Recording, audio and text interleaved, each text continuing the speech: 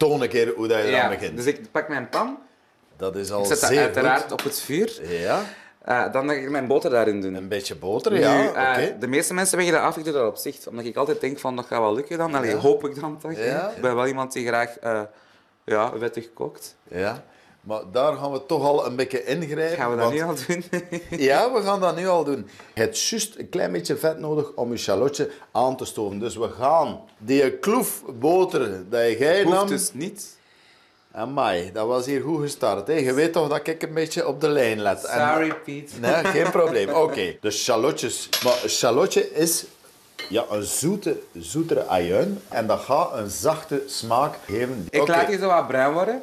Je moet die niet bruin laten worden, want dan krijgen die een bittere smaak. Dus gewoon een klein beetje aanzweten, dat is al goed. Je mocht voor, gewoon verder doen. Ja. Dus dan ga ik nu blussen met champagne. Oké. Want je hebt altijd een derde champagne, een derde room en een derde jus nodig. Ja. Ja, Oké. uiteraard gaat de room er ook bij. Wacht, wacht, wacht, wacht. Je hebt eigenlijk nog niks van oestersmaak. Verstaat het? Dus hier zie ik uw oesters liggen in hun jus en je gebruikt hem niet. Dus ik heb die jus wel nodig. dan. Ah, heb je die jus nodig. Dus we doen die jus daarbij. Wat gaan we doen? We gaan daar een klein beetje visfumet bij doen. En een klein beetje water. Dus eigenlijk, als je een deciliter champagne hebt, een halve deciliter oestersap, een halve deciliter water en een koffielepeltje visfumet, zijde aan een goede basis bezig van je champagnesaus. Ja. Die gaan we inderdaad, gelijk op dat je zei, laten inkoken. En dan kunnen we onze room erbij doen. Dan gaan we verder met de oesters. Hoe kleiner dat je die koopt, die worden warm, die moeten dan gratineren. Ja, dan schiet er niet veel meer over. Dus je hebt eigenlijk te klein. Ik zeg niet dat ze niet goed zijn, hè? want zo'n klein vol oesterke koud eten, dat is fantastisch.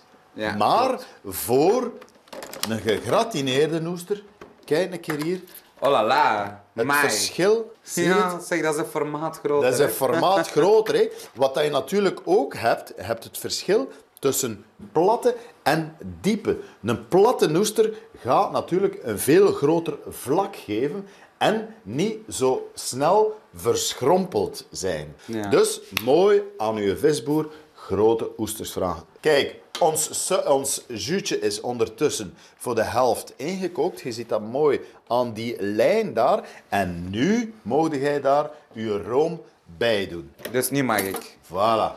Au roerend dan, of? Ook, voilà, kijk. Terug naar de oesters. Ja. Eh, mijn excuses als ik zo wat te veel het overneem. Nee, maar dat geeft niet, dat is goed. Dat Geef is het niet? Allee, voilà, vooruit. Ik zie Ja, ook dat je... Dat je jij hier, dat je van die ouderwetse wandjes hebt. Hans, uw hand is beschermd. Zeer belangrijk, als je met een noestermesje uw noester moet open doen. Zie, we gaan in de sluiting. Voilà. En dan, up, tak, zo'n beetje hefboomgewijs dat mooi zo doen. Dan ga je langs de sluitspier en dan heb je een mooie oester. Ja. Versta je het? En we zijn vertrokken. Goed. Kijk, ik zou zeggen, het is weer aan jou. Wat doe je dan? Dus ik ga nu een halve minuut mijn oesters pocheren in mijn saus. 30 halve minuut? Ja, een halve minuut. 30 seconden? nee, niet Nee. goed? Als die 30 seconden de warmte voelt, ja, dan krijg je echt die verschrompelde oesters. hè. Dan moet, kijk, de warmte voelen. Hup. Zijn je al aan het tellen? Eh, ja. en dit is het dan, of wat? Dit is het. Dus die moeten juist de warmte voelen en eruit. Dat die eigenlijk nog koud zijn van binnen. Hier moeten ook niet mee inzetten dat dat gaat afkoelen, want die komen toch onder de grill. En dat is juist de kunst van die warme oesters te doen, dat je ze van in het begin warm, maar toch rauw houdt. Ja. Zeer, zeer, zeer belangrijk. Ja, ik maak sowieso uh, geratineerde oesters klaar met eh, spinazie. Ja, dus logischerwijs ga ik nu de spinazie groente erbij. in mijn water doen. Dus de spinazie gaat alle water opslorpen en gaat daarna bij het heropwarmen al dat water weer lossen en je krijgt eigenlijk een waterboel. We gaan die heel kort aanbakken En een klein beetje boter weer. Dus die gaan we eigenlijk gewoon aanbakken dan. Gewoon aanbakken. Een beetje peper en zout. Heb jij een klein beetje zout, Timmy? Ja. Zie jij dat water uitkomen? Zie? Nee, hè? Kijk, we laten die zo nog wat half rauw. Zie, voilà. Hup. En we doen die... Dat mag al, dat is oké. Ja, dat is al oké. En dan gaan we die spinazie mooi rauw krokant hebben. Een beetje uitdippen. En dan, Dimi, kunnen we dat gewoon op het bordje... Dus mijn volgende stap was dan uiteindelijk de spinazie liggen op het bord. Ja, Ik ga mijn oesters rond die spinazie leggen. dat is al heel En dan goed. afwerken, dresseren met de saus. Wat gaan we doen om te gratineren? Wat gratineert er het best? Eigeel. Voilà, ja, ik weet. Versta? We gaan een beetje ei nemen en een beetje room. Voilà. Ik ga de room opkloppen. Gewoon zo lichtjes, dagadagadag. Even nog een goede goede de fouet, dat dat echt opgeklopte room is. We gaan daar een eigeeltje bij doen. Kijk, het eigeeltje met de room. Zie je het? Als dat nu koude dus saus... Dus want dit gaat het eigenlijk dikker maken, zodat je een mooie saus hebt dan? Dit gaat het dikker maken en gaat het mooi gratineren. Kijk eens hier. Zie een keer wat mooie saus dat we hebben. Die gaan nu onder de salamander, gelijk, of de grill, gelijk of dat ze zijn. Dat gaat drie, vier minuutjes duren. En dat gaat er perfect uitkomen.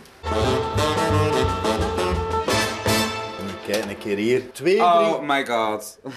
Ziet er ik, fantastisch uit. ik ben al blij dat je het zelf zegt. Dus je ziet, ruikt er ook een keer aan.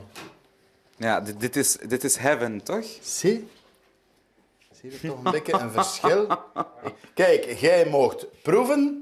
Mag dat wacht, nu al? wacht, wacht, wacht. Als ik, ja, Als ik, ik- voel je al aankomen. ik- als ik weet wat je geleerd hebt vandaag, en dat is punt 1.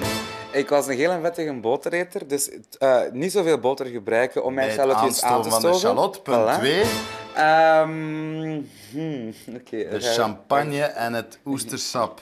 Ja, maar ik vind wel punt 2 het belangrijkste is mijn champagne proeven. Om toch zo'n beetje de smaak te hebben, toch? Niet? Ja, jij bent een snoeper. Maar we inderdaad. gaan toch punt 2, de champagne en het oestersap eerst laten inkoken. Ja, en dan- de room. En een eigeeltje op het einde erbij doen, hè. Punt 3, het eigeeltje op het einde en de spinazie Niet meer koken, maar gewoon aanbakken. dan. bakken. Het is, wat allemaal, we door, een vuistje op het is doen. wat allemaal door elkaar gezegd, maar we gaan er inderdaad een vuistje op Ja, doen. maar zie dit. Jij bent content, hè? Massaal, massa's, absoluut. Ik ken dat graag, dat de kijker zeg, mag dat ik je een beest geven dan? Nou, wacht, wacht, wacht, wacht. Je krijgt nog een cadeau eerst. Haha, de Zie je hier? Dankjewel, merci. En dan mogen jij een beest geven en dan mogen we nu ook proeven. Die Dat gaan we nu vooral doen. En ik, ik ben ermee weg. En weet je wat ik ga doen? Dat ga ik ga je ook een beest geven. Ga ik hier. Salut! Tada! Da-da-da-da-da.